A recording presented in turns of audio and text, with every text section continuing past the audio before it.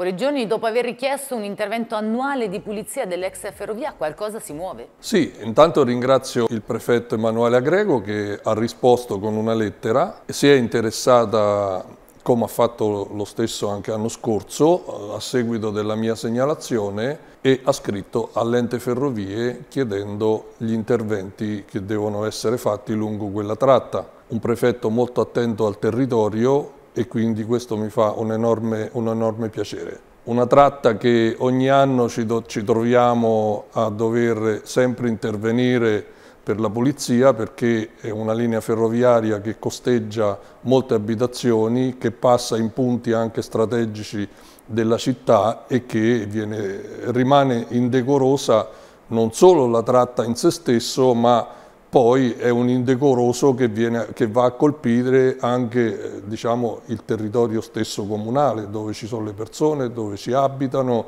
eccetera, eccetera. Quindi sono di nuovo tornato in argomento, come faccio ormai da quattro anni, e ho chiesto all'ente ferrovie di fare un programma che sia un programma diciamo fisso, quindi interventi da fare ogni anno, in modo da non dover tornare in argomento, perché anche se quella tratta ferroviaria è stata dismessa nel 1986, questo non vuol dire che debba essere lasciata in abbandono, è rimasta di proprietà dell'ente ferrovie e l'ente ferrovie è preposto a intervenire e a tenerla come si deve. Ora attendiamo appunto una risposta o un intervento da parte di RFI. Ma sicuramente sì, credo come è successo nel 2023 che il prefetto ha convocato addirittura l'ente ferrovie e il comune di Fano proprio in un tavolo proprio su questo tema, quindi credo che anche quest'anno comunque l'ente ferrovie perlomeno, lo spero,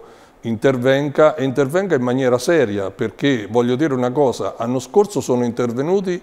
ma in maniera molto veloce. Io quest'anno ho chiesto di prestare un'attenzione particolare alla pulizia perché se la pulizia viene fatta come si deve ogni anno costa meno e se si interviene ogni anno chiaramente il lavoro è minore rispetto a quello lì che è adesso. Ho chiesto un'attenzione particolare soprattutto in via Regolo verso dove era l'ex stazione ferroviaria anche perché lì c'è una situazione un po'